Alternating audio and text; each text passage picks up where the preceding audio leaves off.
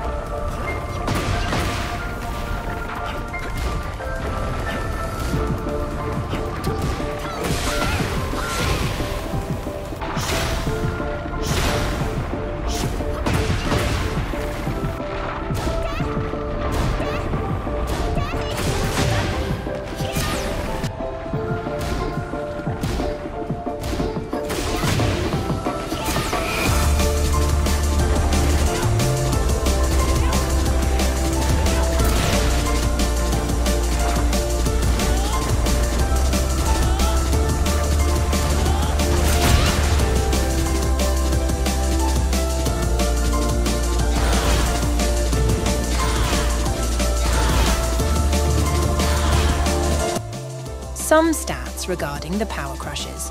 The character with the most number of Power Crush types is Hwoarang. Next is the characters with a single type of Power Crush. Asuka, Bryan, Claudio, Devil Jin, Dragunov, Kazuya, Leroy, Shaheen, Xiaoyu, Yoshimitsu. Next is the characters with the fastest Power Crush from neutral stance, Victor and Asuka with their 15 frame move. Next is the characters with the slowest Power Crush, Steve and Jun with their 28 frame move. Mid power crushes are mostly punishable on negative 12, negative 13, and negative 14. For high power crushes, they should be all safe on block. Guys, thank you so much for watching my video.